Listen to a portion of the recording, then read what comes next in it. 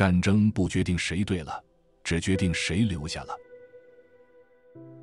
乞丐并不会妒忌百万富翁，但是他肯定会妒忌收入更高的乞丐。你能在浪费时间中获得乐趣，就不是浪费时间。一切伟大的著作都有令人生厌的章节，一切伟人的生活都有无聊乏味的时候。人的一生就应该像一条河，开始是涓涓细流，被狭窄的河岸所束缚，然后它激烈地奔过巨石，冲越瀑布，渐渐的，河流变宽了，两边的堤岸也远去，河水流动得更加平静，最后它自然地融入了大海，并毫无痛苦地消失了自我。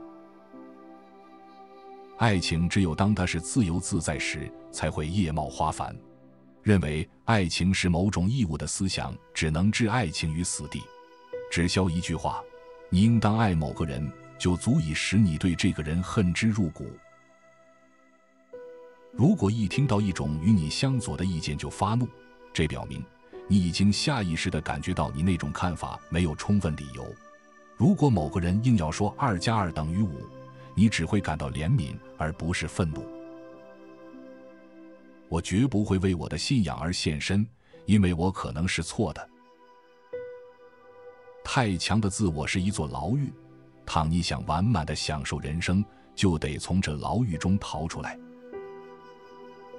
对爱情的渴望，对知识的追求，对人类苦难不可遏制的同情心，这三种纯洁而无比强烈的激情支配着我的一生。这三种激情就像飓风一样，在深深的苦海上肆意地把我吹来吹去，吹到濒临绝望的边缘。言论自由只有在政府认为它自身安全的时候才存在。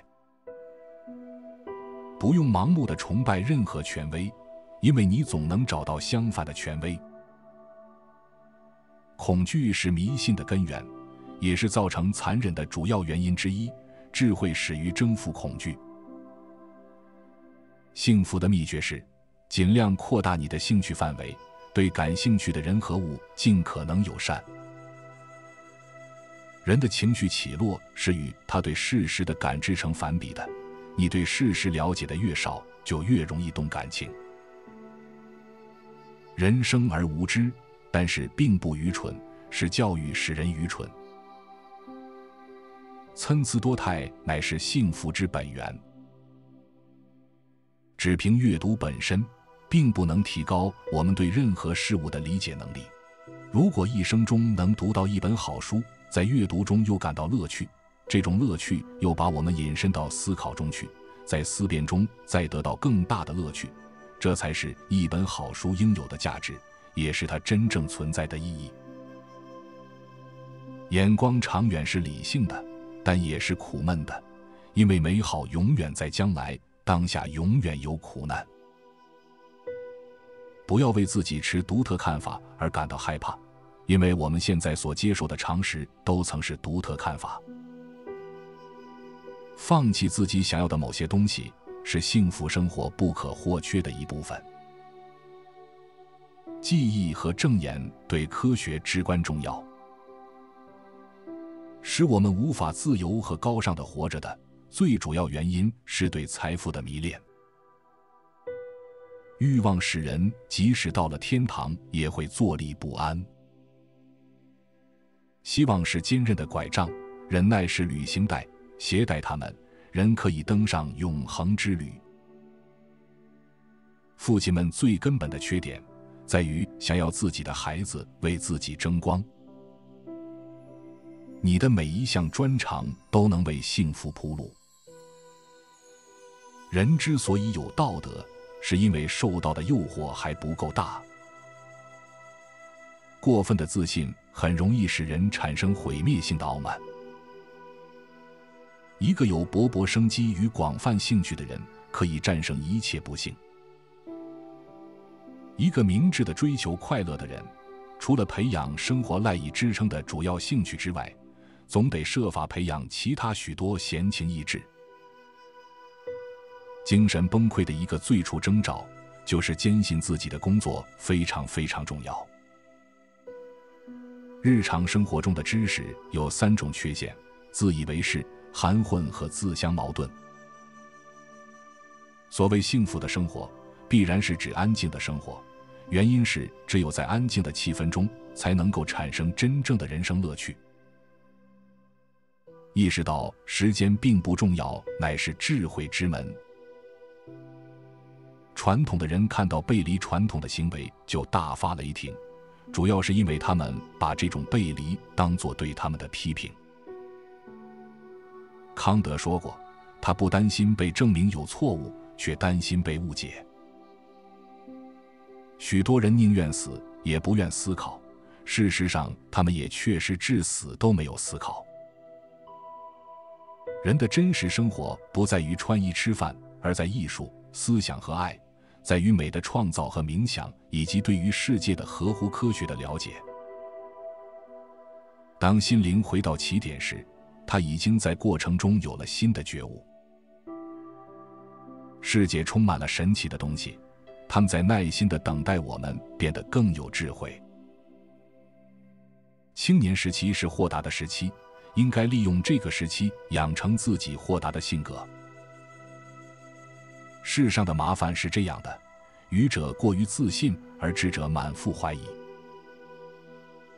在一切道德品质之中，善良的本性在世界上是最需要的。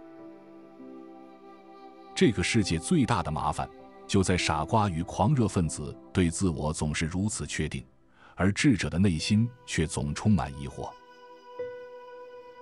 数学正确的看，不仅拥有真，也拥有至高的美，一种冷而严峻的美，一种屹立不摇的美，如雕塑一般，一种不为我们软弱天性所动摇的美，不像绘画或音乐那般有着富丽堂皇的修饰。然而，这是极其纯净的美，只有这个最伟大的艺术，才能显示出最严格的完美。须知人生的参差百态，乃是幸福的本源。读一部书有两个动机，一个是你喜爱它，另一个是你可以夸耀它。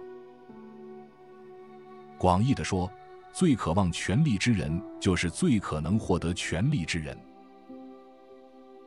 幻觉不是你的错，在幻觉中做决定，这就是你的不对了。一切社会的不平等。从长远看来，都是收入上的不平等。对付贫穷要有勇气，忍受嘲笑要有勇气，正视自己营垒里的敌对者也要有勇气。通过认识到那些引起焦虑的事物并不重要，可以缓解大部分忧虑。我们常问是否知道这个或知道那个，但我们没有问过知道本身是什么。我们面临这样一个进退两难的境地，即教育已经成为智慧和自由思想最主要的障碍之一。唯有对外界事物抱有兴趣，才能保持人们精神上的健康。一个明智的人绝不会因别人有别的东西，就对自己的东西不感兴趣。即使真相并不令人愉快，也一定要做到诚实。因为掩盖真相往往要费更大力气。征服恐惧就是智慧的开始。喝醉是暂时性的自杀。一切社会的不平等，从长远看来都是收入上的不平等。无聊对于道德家来说是一个严重的问题，因为人类的罪过半数以上都是源于对他的恐惧。凡事不要抱绝对肯定的态度。第一条是，记住你的动机并不总像你想象的那么有益于他人。第二条是，不要过高估计你自己的价值。第三条是，不要期望他人能像你那样注意你。第四条是，不要以为多数人都在设法迫害你。我们两次出生于这个世界，第一次是为了存在。第二次是为了生存。个人的自我并不是整个世界的最大的一部分。一个能够自我超越于自己的思想和希望的人，也能够在日常生活的困境中为自己找到安静闲适之地，而这对彻底的利己主义者来说是不可能的。奇妙的学习不但能使不愉快的事变得较少不愉快，而且也能使愉快的事变得更愉快。忍受单调生活的能力应当从小培养。现代父母在这方面真该大受谴责，他们供给子女的消极娱乐实在太多，如电影、美食之类。他们不懂得平淡的生活对于儿童的重要性。每一个人的生活都应该像河水一样，开始是细小的，被限制在狭窄的两岸之间，然后热烈地冲过巨石，画下瀑布。渐渐的，河道变宽了，河岸扩展了，河水流得平稳了。最后，河水流入了海洋，不再有明显的间断和停顿，而后便毫无痛苦地摆脱了自身的存在。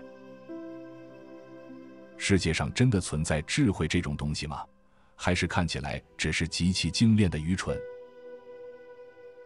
一个奴隶命中注定要崇拜时间、命运以及死亡，因为他在自己身上找不到任何更强大的东西。而他所能想象的所有事物都可以被这三件东西所吞噬。科学是那些我们已经知道的东西，哲学是那些我们还不知道的东西。哲学是我们可以胡说八道的一种特殊权利。哲学是有道理的猜想。痛苦的呼喊在我心中反响回荡，孩子们受饥荒煎熬，无辜者被压迫者折磨。孤弱无助的老人在自己的儿子眼中变成可恶的累赘，以及世上触目皆是的孤独、贫困和痛苦，这些都是对人类应该过的生活的嘲弄。我渴望能减少罪恶，可我做不到，于是我感到痛苦。人类一切的活动都发生于两个来源：冲动与愿望。需求对象的残缺不全，正是幸福的必不可少的条件之一。从每天上学的时间看，中国儿童最有思想。只有同这个世界结合起来，我们的理想才能结出果实；脱离这个世界，理想就不结果实。嗜好和一时的爱好不是基本的快乐之源，而是逃避现实的一种手段，是把不堪正视的痛苦暂时忘记的一条途径。了解一个时代或一个民族，我们必须了解它的哲学。人们生活的环境在决定他们的哲学上起着很大的作用，然而反过来，他们的哲学又在决定他们的环境上起着很大的作用。我的人生正是使事业成为喜悦，使喜悦成为事业。一个有勃勃生机与广泛兴趣的人，可以战胜一切不幸。人活在世上，主要是在做两件事：一、改变物体的位置和形状；二、支持别人这样干。伟大的事业是根源于坚韧不断的工作，以全副精神去从事，不必艰苦。为什么用谎言煽动仇恨比煽动友爱要有效的多呢？若过着一种心烦意乱、放荡不羁的生活。那么，青年人的头脑中就难以形成富有建设性的目标，因为在这种情况下，他思想上所注重的是眼前的娱乐，而不是未来的成就。你被人谈到的机会越多，你就越希望被人谈到。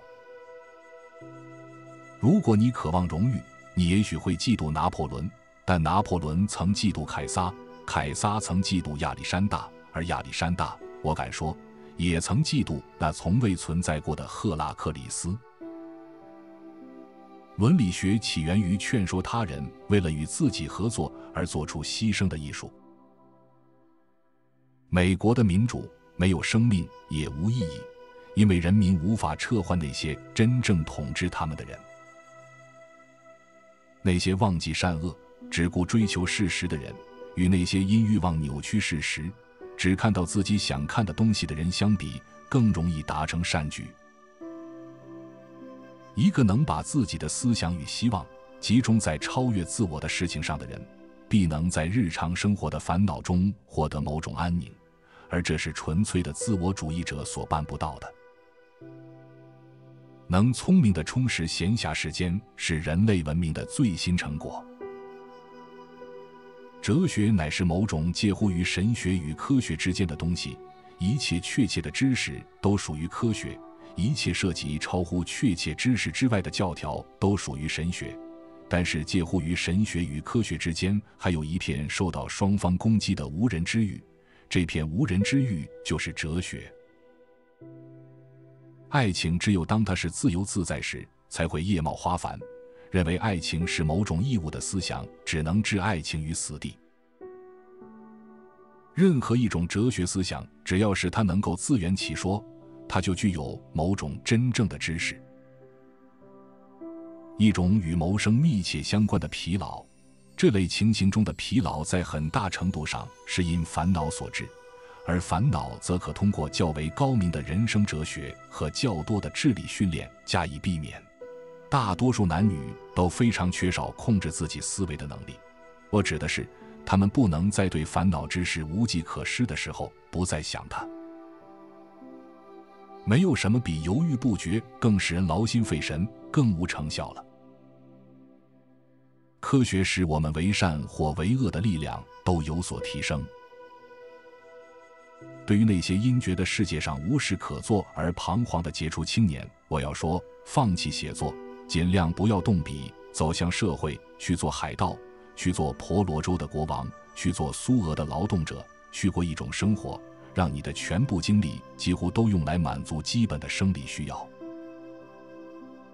当情绪化的狂热平静下来，拥有推理习惯的人，就会去为他自己的信仰寻找逻辑支持。人们进行这种斗争时，所害怕的并非第二天没有早饭吃，而是不能胜过邻人。但是，幸福的获得在极大的程度上却是由于消除了对自我的过分关注。从无用的知识之中可以得到那么多乐趣。他不在自己的所有中寻求快乐，却在别人的所有中寻求痛苦。作为一个人，对父母要尊敬，对子女要慈爱，对穷亲戚要慷慨，对一切人要有礼貌。从伟大的认知能力和无私的心情结合之中，最易于产生出思想智慧来。人生中最难学的，便是过那座桥，烧那座桥。要理解一个名词。就必须熟悉那个名词指代的东西。爱情能使我们的整个生命焕然一新，就像久旱之后的雨水对于植物那样。没有爱情的性行为全无这种作用。短暂的欢愉一旦结束，剩下的只是疲倦、厌恶和生活空虚之感。爱情是大地生活的一部分，没有爱情的性行为则不然。需求对象的残缺不全。正是幸福的必不可少的条件之一。人生就是搏斗，就是竞争，而尊敬只能属于胜利者。这种观念使得人们不惜牺牲理性和才智，而去过分培养意志。有那么两种类型的工作：一种是改变地球表面上和表面附近物体与其他物体的相对位置；另外一种是指挥别人从事第一项工作。害怕爱情就是害怕生活，而害怕生活的人已经被黄土埋了半截了。我们面临这样一个进退两难的境地，那就是教育已经成为智慧和自由思想最主要的障碍之一。倘若一个人不依靠温暖的神话，就无法面对生活中的不幸，那么他可就有点软弱和可比了。我们有力的道德就是通过奋斗取得物质上的成功，这种道德既适用于国家，也适用于个人。哲学的目的在于以理论的方式理解这个世界，这件事对动物、对野人，甚至对绝大多数文明人来说，都没有什么实际的重大意义。不能忍受烦闷的一代，必将是无所作为的一代，他们过分脱离缓慢的自然过程。各种有生机的冲动就像瓶中的插花那样逐渐枯萎。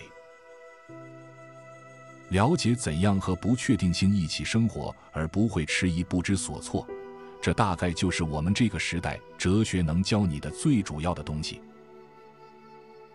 在需要应付的时间以外，将日常生活中的一般烦恼置之脑后，则是完全可能的。培养一个有条理的头脑，以便在适当的时间稳妥地思考问题，而不是在所有时间里都胡思乱想。这对于增加快乐和提高效率均具有惊人的作用。当需要做出困难的或令人忧虑的决断时，一旦获得全部的材料，就应运用你最好的思想，当机立断。决定之后，除非再有新的事实，切勿修正。优柔寡断最折磨人，也最于事无补。语言的根本目的在于实现人的共同目的。一个人的兴趣越广泛，他拥有的快乐机会就越多，而受命运拨弄的可能性也就越小。因为即使失去了某一种兴趣，他仍然可以转向另一种。宁静的生活是伟大的特征，而他们的快乐也绝不是外人以为刺激的那种。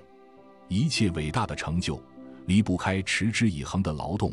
其专注与艰苦的程度，使人没有余力去从事疯狂的娱乐。对幸福的轻蔑，通常是对其他人幸福的轻蔑，在精巧的伪装之下，是对人类的仇恨。缺乏是幸福必不可少的一个条件。如果世界上有骄傲到不肯打仗的民族，那么这个民族就是中国。典型的不快乐者是年轻时失去某种正常满足的人，他把这种满足看得比任何其他满足都重要，从而使他的一生只朝一个方向发展。同时，他还过分强调这种满足的实现恰同那些与之相关的活动相反。然而，这种现象又有了新的发展，这在今日已极为普遍。一个人所受的打击可能沉重之极。以致他不再寻求满足，而只图消遣和遗忘。对哲学而言，重要的不是给出的答案，而是提出的问题。在数学中最令我欣喜的是那些能够被证明的东西。人既要有肉体，又要有思想，两者都必须受到训练。这个世界最大的问题就是蠢人和狂徒自命不凡，而智者却满腹疑虑。参差多态乃幸福之本源。婚姻就像金色的鸟笼，在外面的想进去，在里面的却想出来。须知参差多态乃是幸福本源。不管你是在研究什么事物，还是在思考任何观点。请只问你自己：事实是什么，以及这些事实所证实的真理是什么？永远不要让自己被自己所更愿意相信的，或者你认为人们相信了之后会对社会更加有益的东西所影响。只是单单的去审视什么才是事实。古往今来，所有的努力，所有的奉献，所有的灵感，所有如日中天的人类天才，都注定要在太阳系的无涯死亡中灭绝。而整个人类成就的殿堂，必然无可避免地被埋葬在毁灭的宇宙碎尘下。